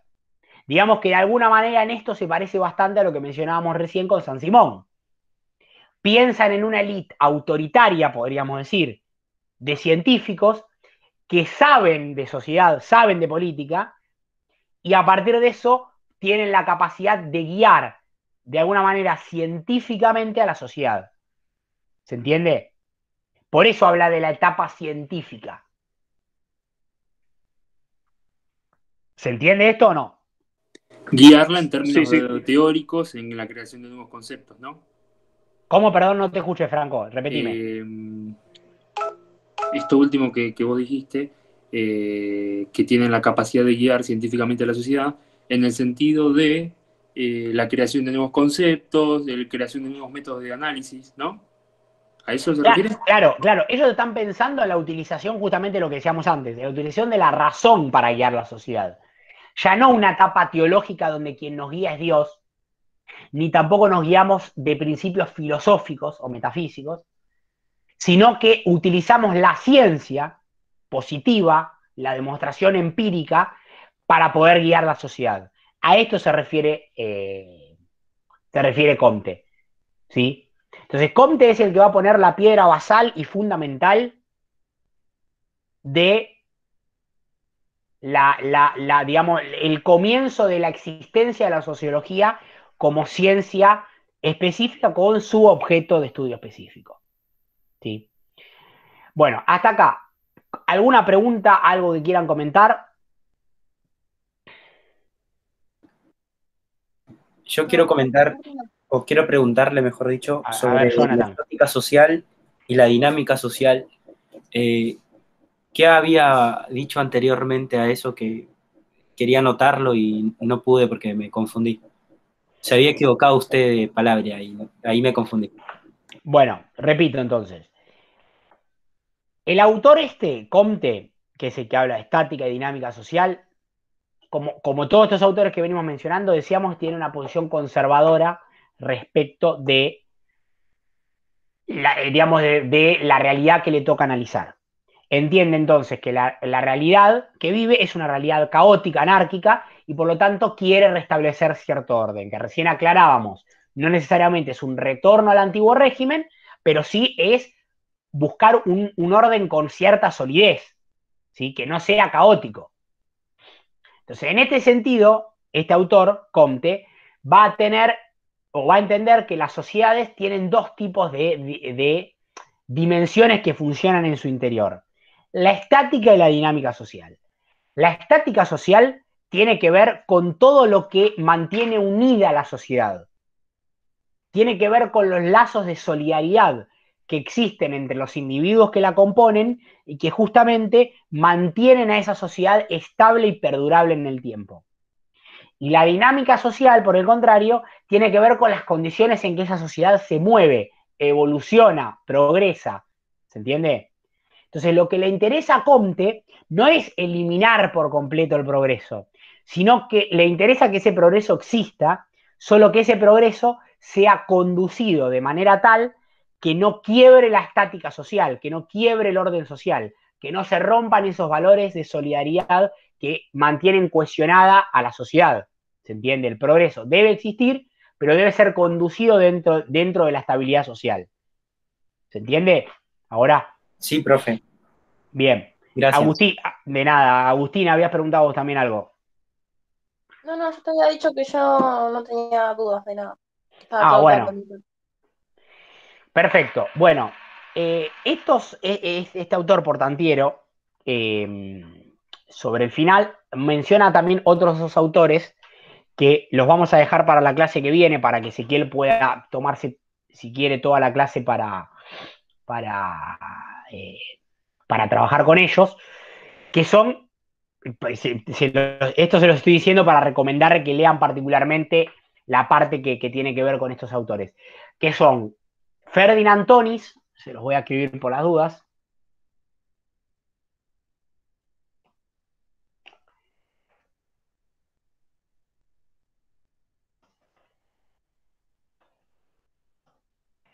Y Georg Simmel. No sé si alguna vez los escucharon mencionar, alguno de los dos autores. Sí, ¿no? ¿Escucharon hablar de Tonis y Simmel? No, profe. Bueno, Tony y Simmel son, no me acuerdo quién lo había, creo que Jonathan me lo había preguntado al principio, son autores que parten, eh, sobre todo Tonis, que parte del socialismo, ¿sí? Pero son, e, es un autor que es, Tonis es un autor que se caracteriza o es caracterizado generalmente por haber logrado hacer la distinción entre, entre ser un socialista y ser un sociólogo. Bueno, eso es lo que van a trabajar principalmente con lo que seguramente van a empezar a trabajar con Ezequiel cuando vean a Tonis. El texto de Tonis que van a trabajar, no es que ustedes lo tengan para leer, pero es el que van a encontrar mencionado en el texto, se llama Comunidad y Sociedad, tiene que ver con las dos formas de organización social que Tonis desarrolla, y después con Simmel van a tener que prestar la atención al surgimiento de la sociología formal, que es lo que, eh, es lo que, es lo que Simmel plantea como novedad. Se los dejo entonces para que arranquen con ese, porque seguramente si no le toma toda la clase, le va a tomar casi toda la clase que viene a hablar de estos autores. Y después, seguro sí, ya em, tendríamos el camino allanado para empezar con el primer autor grande que, es Marx. Seguramente vamos a, leer el capítulo 5 y 6 del Capital, eh, que ahí lo tienen ustedes en la bibliografía obligatoria de la materia y alguna cosita más perdida por ahí, pero bueno, generalmente el texto central es ese. A que sí, bueno, si les parece, si no tienen ninguna duda más, eh, por el día de hoy nos tomamos ya el descanso y bueno, se vuelven a encontrar con ese el miércoles que viene. Vale, profe. Profe. Genial, profe, gracias. Tengo la última pregunta. A ver, Jonathan. Esos autores que citó, eh, ¿los citó para, para, buscarlos en lectura? ¿En la comunidad y sociedad? No, no, claro, comunidad y sociedad es, es, el, es el texto fundamental de Tonis, pero ustedes no tienen que leer comunidad y sociedad. Van a encontrar en el texto que hablan de Tonis y hablan de Simmel, pero no tienen que leer el texto, solo se los mencioné a modo informativo, digamos. Ok, profe, gracias. Bueno, entonces, eh, cual, cualquier duda que le surja en la semana, obviamente, no, no, no hay problema. Agustina. ¿Preguntaste? No, yo no. Pero Ah, preguntaron. No, Ah, otra no, Agustina, otra Agustina. Ah, fue sin querer. Bueno, listo. Entonces, eh, damos por cerrada la clase el día de hoy. Como les decía, Pase cualquier... lista, profe. pasamos lista. Miren, si no me hacen acordar ustedes, no paso lista, ¿eh? Eso me, eso me pasa por no pasar lista al principio. Aguántenme un segundo que me la mando por mail la lista, porque no la tenía. Me la pasó ese por, por, eh, por WhatsApp. Y por- para completarla por WhatsApp voy a estar con seis meses, ¿a que sí? Al principio no, profe, porque si no me mata a mí que llego tarde. Tienes razón, bueno. Justamente lo que iba a decir yo también, ¿no? que venimos de trabajar y los que tra- los que vivimos lejos del trabajo. Ni- ningún, ni- ¿Ninguno es millonario acá que vive sin trabajar? No, ¿O no. todos trabajan? Estoy en el proceso de hacerme millonario, pero todavía no llegué. Bueno, te deseo mucha suerte Pero- entonces. Profe, le hago Gracias. una consulta. Del, del Decime. WordPress, eh, ¿qué texto entonces para la clase que viene habría que tener leído? Bueno, hoy trabajamos el de Portantiero. Le- le- eh, Lean ese, lean ese. Después hay otro que es, es de Botomor, que habla, que habla sobre, eh, habla sobre sociología general, que está el libro entero, que lo deben haber visto. De, Bo- de Botomor y Nixet, ellos son los autores. Eh, que ahí también tienen algo de Tonis y tiene algo de Simmel. Si quieren, pueden leer de ahí también. Sí, porque es, eh, sé que en la otra clase nos había dicho que leamos a Portantiero y a Feynman. Sí. Por eso pre- preguntaba si... Perfecto. Perfecto. Portantiero, Portantiero es lo que vimos en el día de hoy. Claro, pero esos dos nos dijo para esta clase, por eso pregunto. No, y vos tomar Correcto. también, ¿eh? Y vos tomar también. Con ese dijo... Votomor, digamos, Votomor y Nielsen. Claro, Nielsen está el De la libro página entero, 19. y digamos que lo vamos a ir lo vamos a ir viendo, lo vamos a ir viendo en múltiples oportunidades porque es como si fuera, si fuera un manual de sociología, digamos. O sea, tiene un contenido muy amplio ese libro. Vamos, algunas cosas vamos a ver de ahí, algunas no. ¿Sí? Ahí, por ejemplo, tienen, tienen un, un apartadito de Tonis y un apartadito de Simmel que, que les puede llegar a eh, servir como, como mm, eh, línea, alineamiento, digamos, para, para ir tirando lo- los principales conceptos de los dos autores. Aguanten, eh, que ya está abriendo.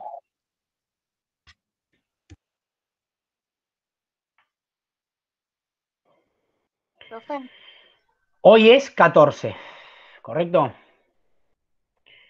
14. Así es. A ver, un segundo. ¿eh? 14 abril. Bueno, Fiorella Ad- Adamo Suárez. Fiorella Adamo Suárez. ¿Está o no está? No está, bueno. Agustina Almirón, que ahí te vi estás. Sí, acá estoy. Melissa Anquieta, Presente. bien. Ailén Arenas, estás, ¿no? Sí. Pablo Matías Vena, Eh, acá estoy. Tobías Ezequiel Bloch, Presente. Luana Jazmín Brun, Presente. Lucas Nahuel Caballero, Presente. Da- Diego Ariel Capoblanco, Presente, profe. Leila Daniela Cartagenova, Presente. Patricio Alejandro Díaz, Patricio, estabas por ahí, ¿no? Bueno, a Patricio lo, lo vi, pero me parece que se fue. Bueno, Fabián Javier Feinstein. Presente, profe, acá. Patricio dijo presente en el Ah, chat. Facu- Facun- eh, traten de hablar porque estoy con el coso abierto acá, no estoy viendo el chat. Facundo Tayel Ferrero. Presente, profe. Camila Belén Gallo. Presente, profe. Perfecto. Laura Andrea Garcilaso.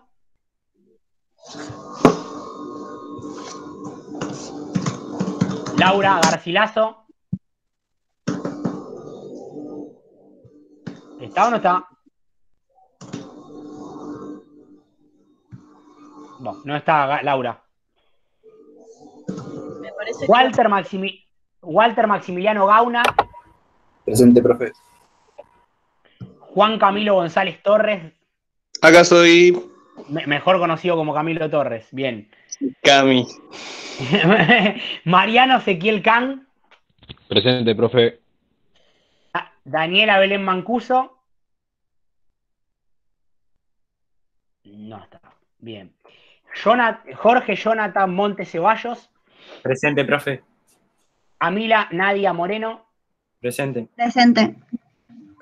Franco Ezequiel Nieva Lorea. Presente. Chloe Rafaela O- O- Olivelia Laza. Presente, profe. Bien. Sofía Belén Patti. Presente. Caterina Pullín. Presente, profe. Alan Nicolás Reskin Caballero. Presente. Julieta Aldana Rizo. Presente. Agustina Romero. Presente, profe. Amara Nair Barbaro. Tamara Nair es Barbaro. Silencio. Eh, Yara Candela Signorino. Presente. Agustina Silvestri, te escuché por ahí. Acá estoy. Eh, Ludmila Nayara Soulé. Presente, profe. Lucas Tagliani. Presente. Son un millón, che. Tenemos más. Mariano Balado. Presente, profesor. Gustavo Adolfo Valdés, te vi por ahí que estabas. Presente, profe. Y Yela- Jessica Elizabeth Val- Vela- Velarde. Jessica está. No está. Listo. Bueno, chicos, ahora sí, cumplidas las formalidades. Profe, le puso presente a la compañera Agustina Romero, que se tuvo que ir en plena clase. Eh, creo que sí, déjame ver, esperá. Agustina Romero, Agustina soy Romero. yo Agustina. igual. Ya volví. Ah, bueno, bueno, listo. Sí, sí, sí, Ah, sí. Listo. Bueno, pues, chicos, entonces. Perfecto, chicos, entonces. Damos por cerrada la transmisión del día de hoy. Bueno, que Nos tenga buena semana. Nos vemos. Igual, igualmente. profe. Chao, buena Eh, semana. Chao, chao. Buena semana, profe. Chao, profe. Gracias.